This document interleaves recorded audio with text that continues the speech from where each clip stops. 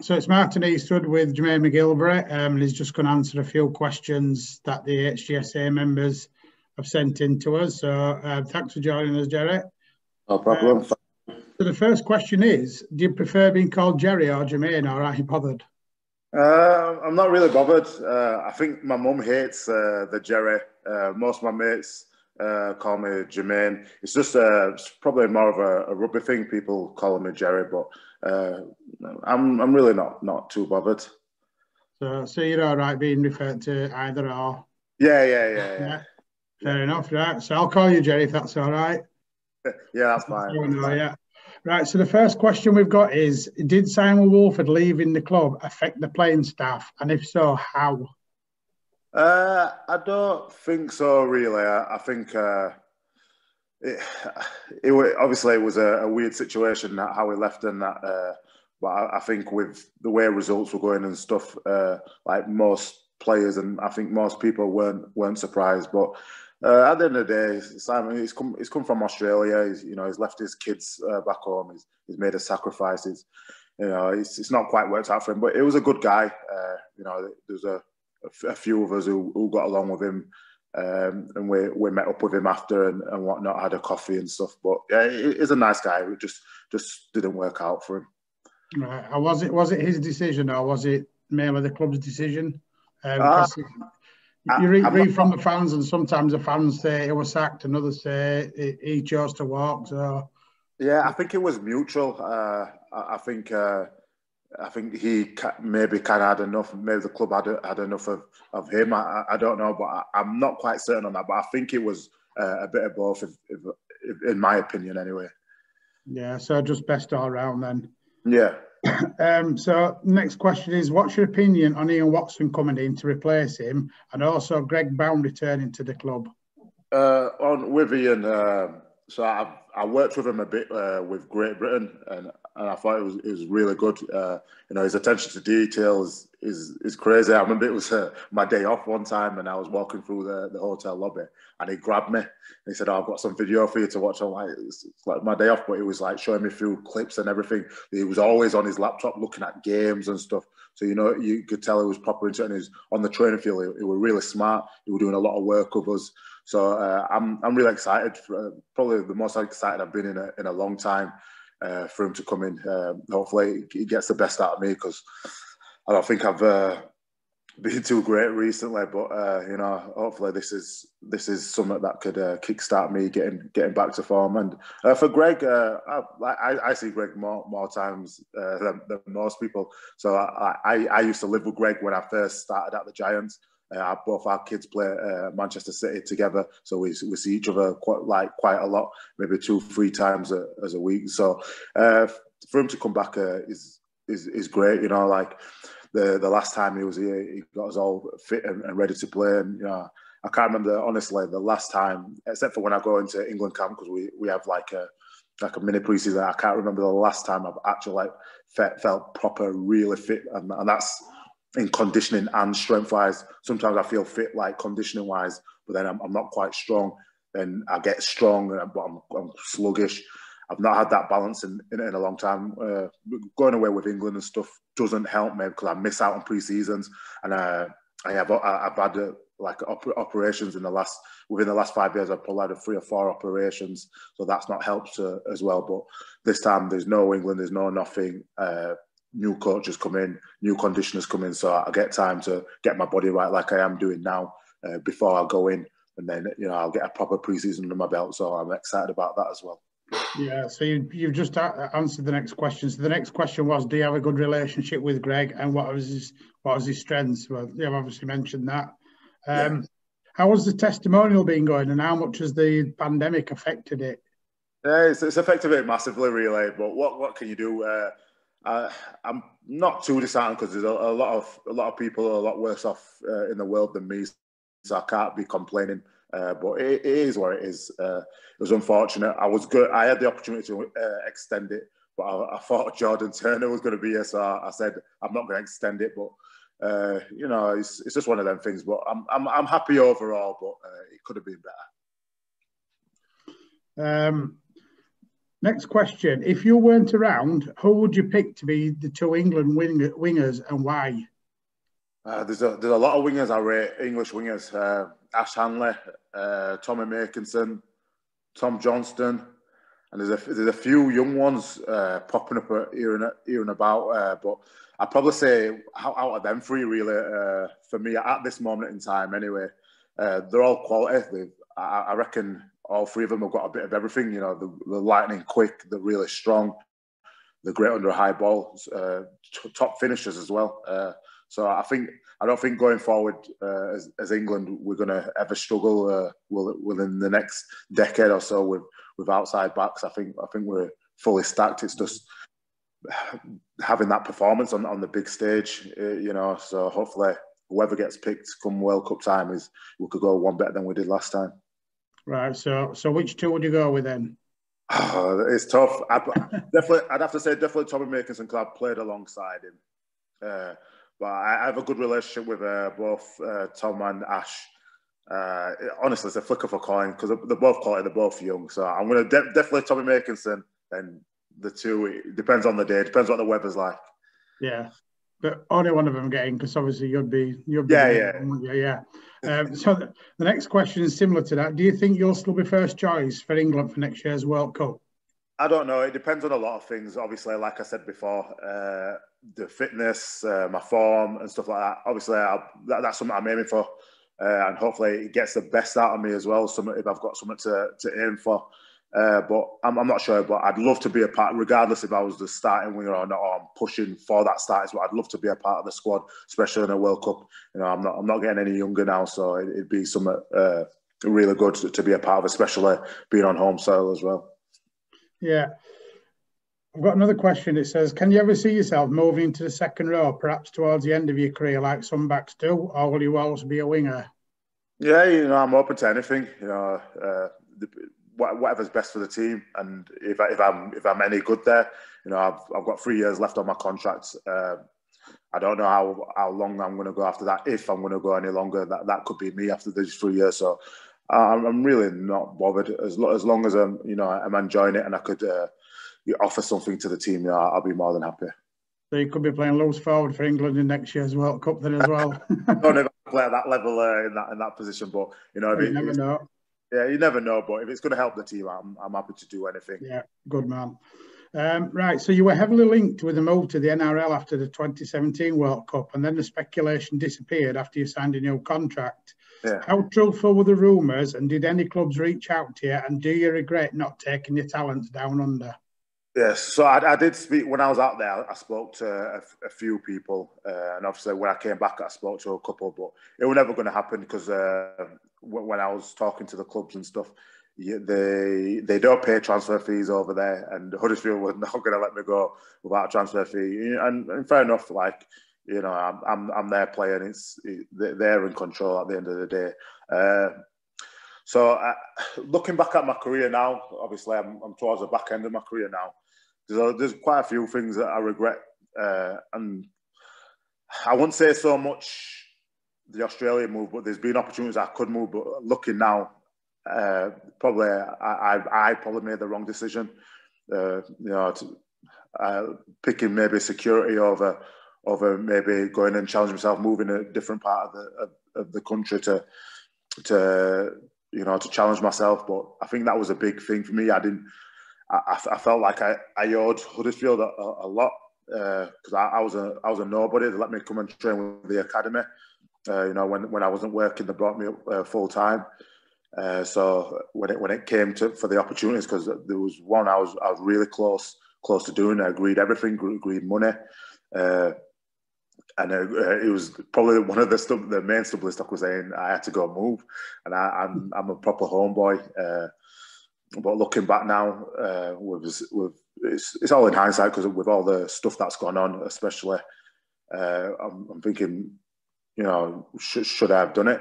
Uh, you know, and, and I probably, I, I, probably should have. Looking back now, if I'm really honest, and I'm not, I'm not, I'm telling the truth. Like I, sh- I should have probably done it. Yeah. Yeah, a bit like Ellen. You put your loyalty towards Huddersfield.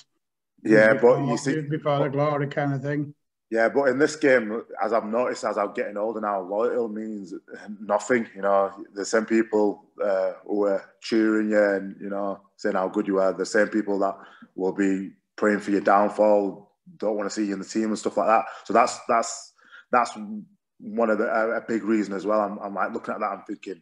I should, I should have just gone. I should have gone. No, no one cares. No one really cares when you when you're not doing too well. Everyone, everyone wants. They don't want to see you come back up. They don't want to you know, they're, they're just preying on your downfall when you when you when you're in your form when you're in form and stuff like that. Everyone's cheering for you, but you know, loyalty gets you nowhere. That's what I've learned anyway. Yeah, it's still to that turns, doesn't it, from yeah. to zero sort of thing. Exactly. Do you um do, do you tend to read like social media forums and things like that? Is it kind of thing mm. players do or? Nah, I know players do do that, and uh, but my obviously my I've got a lot of friends uh, on Facebook and you know, on different uh, sites like Twitter and Instagram and stuff like that. So they, so a couple of my mates are jokers, so they, they like to sh- uh, send me stuff uh, sometimes. So I, I, do see some stuff. I don't, I don't go looking for it because I really, I'm not really asked, so to speak. I'm not really bothered. Uh, but when I do see stuff when they, they send it me, uh, you know, I laugh it off. But when I when I really think about it, it, you know, it's I, it kind of kind of like annoys me a little bit. But you know, everyone's entitled to opinion. Like yeah. I just I just link it to like when I'm I'm a big Liverpool supporter, and like when they're losing and stuff like that, I'll say, oh, he's rubbish, he's, this and that.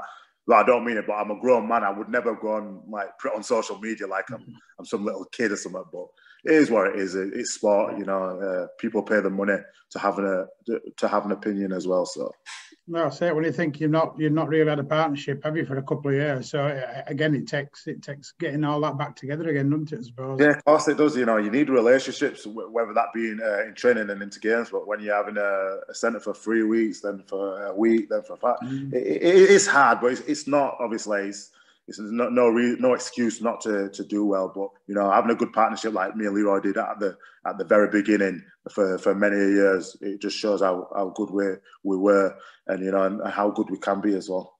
Absolutely, yeah.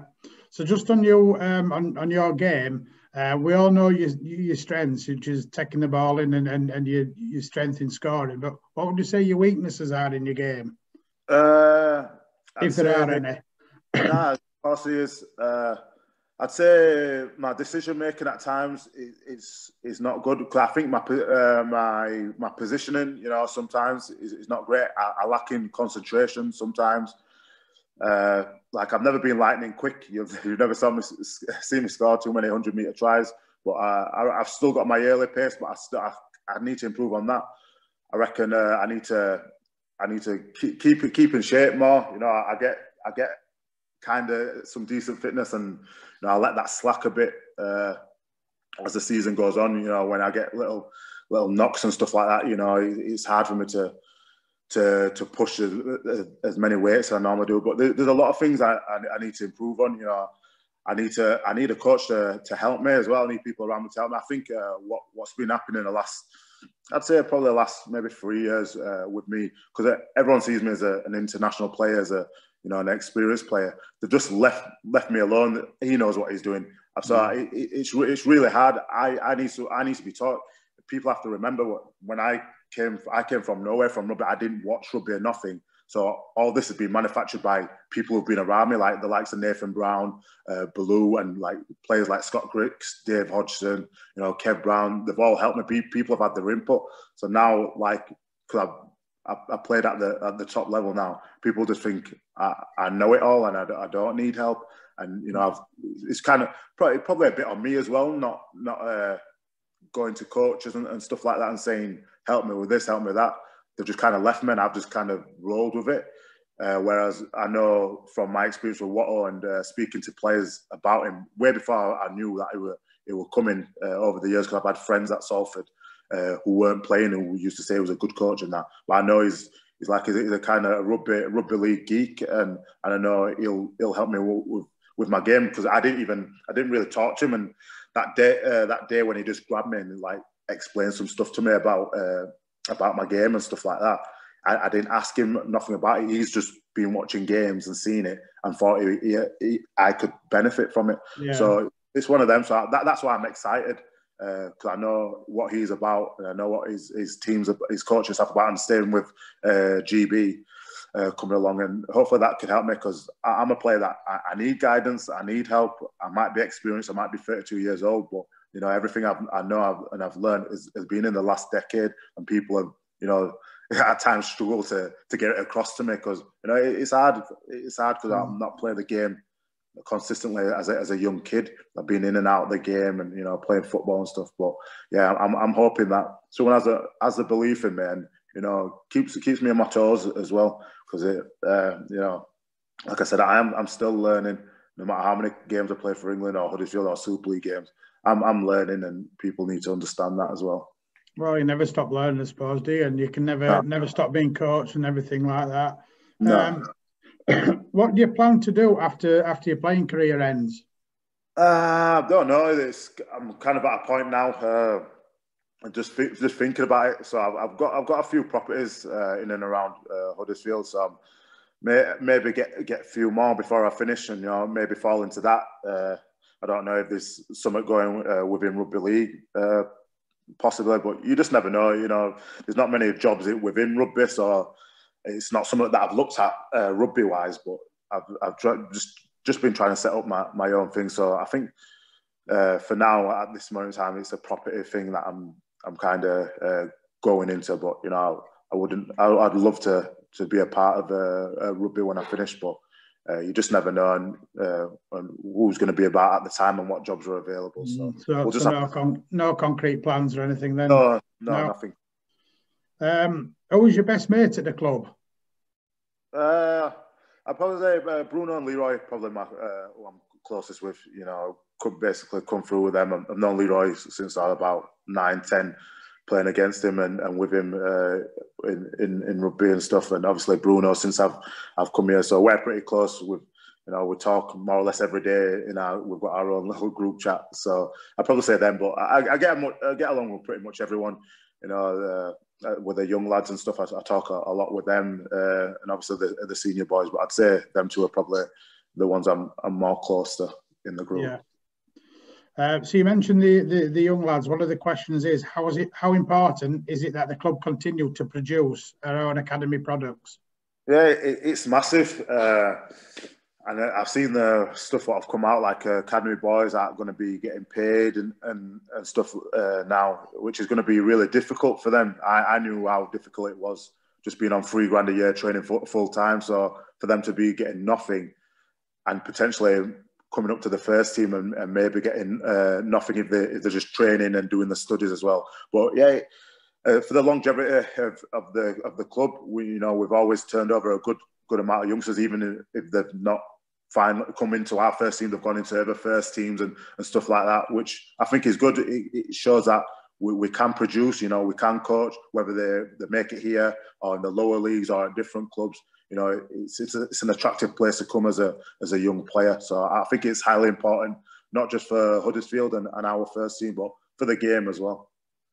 And financial as well, I suppose, for the club, isn't it, as well? Because bring your own players through. You're not having to pay out on salary cap. You're not having to pay for marquee players and things like that. Yeah, I've always been told as a as a as a player, like when I was a young player, that you, to make the money, you have to make the move, uh, so to, so to speak, unless you become a, a, huge star. So yeah, that that's true as well. So the, you save a lot on money if you produce your own. Yeah, and finally, how important a role do the HGSA play in raising funds for the academy development? Because obviously, you know, everything we do, we, we, we, give the money back to the to the club for the academy. How important is that, you know, from from a first team player's point of view? Yeah, see, I didn't know about this uh, until a couple of years back, and I think I think that's massive. Uh, it's huge for, for the academy for, for all this all the stuff that they get the, the the kits and you know the the traveling uh, you guys funding them. It's it's, it's amazing. And I, I don't know if many other clubs do it but uh, it was it was news to me when when uh, when the boys were, were talking about it uh, some years ago. So I think it, I think it's massive. I think it's a good community thing as well. Like shows we're, we're all together and you know supporting not not just the first team coming to watch us, but you're supporting the next generation, the next superstar. So I think I think it's huge, and you know, and you know, for, for me anyway, I, am grateful because I, I didn't I didn't know. So you know, anything you guys have on and you need something from me, just just let me know.